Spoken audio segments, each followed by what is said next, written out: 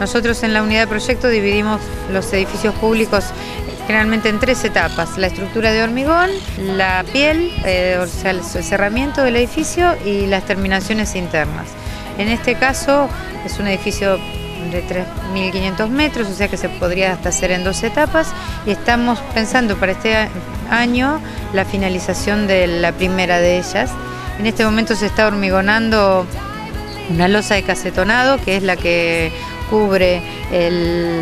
la, la primer planta del edificio. En realidad el programa es un programa muy simple, tiene una presencia importante y tiene la premisa que tuvimos con en el diseño fue no interferir la visión de la naturaleza con el edificio, sino que el edificio se achate en el terreno de manera tal de dejar siempre visible las islas y el Paraná y el parque que lo rodea.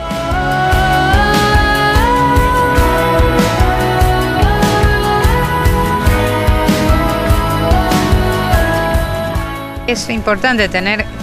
eh, tanta cantidad de predio como dos hectáreas y media de, que son públicas, que son eh, de todos, con un edificio que aglutine una función como la, de hacer visible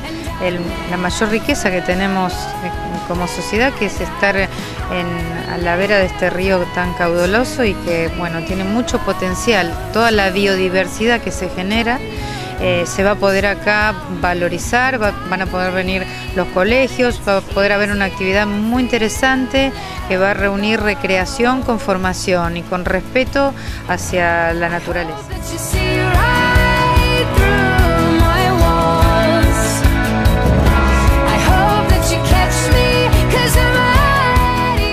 La obra del acuario se integra con un abanico de obras que la provincia está realizando en la ciudad de Rosario. Dos de, dos de las obras más importantes están justamente a, la, vera del río Paraná. Una son los cuatro galpones, la rehabilitación de los cuatro galpones eh, que están en, en, el Parque a la Bandera, que se van a dedicar a un proyecto denominado Ciudad Joven. Y esta que estamos viendo aquí, que es el acuario del río Paraná que la elaboró la Unidad de Proyectos Especiales de la provincia con un programa que realizó la Secretaría de mm, Tecnología e Innovación y se trabajó un programa de biodiversidad donde bueno, hay una gran interacción entre lo que todo el,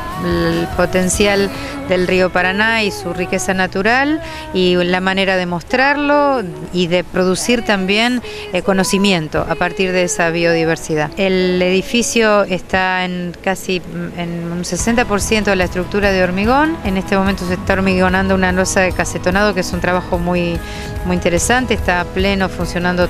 todo el hormigonado se, va a hormigonar durante todo el día, van a entrar creo que 15 camiones, están programados que entren cada 15 minutos a, hormigonar la, losa esta de cacetonado.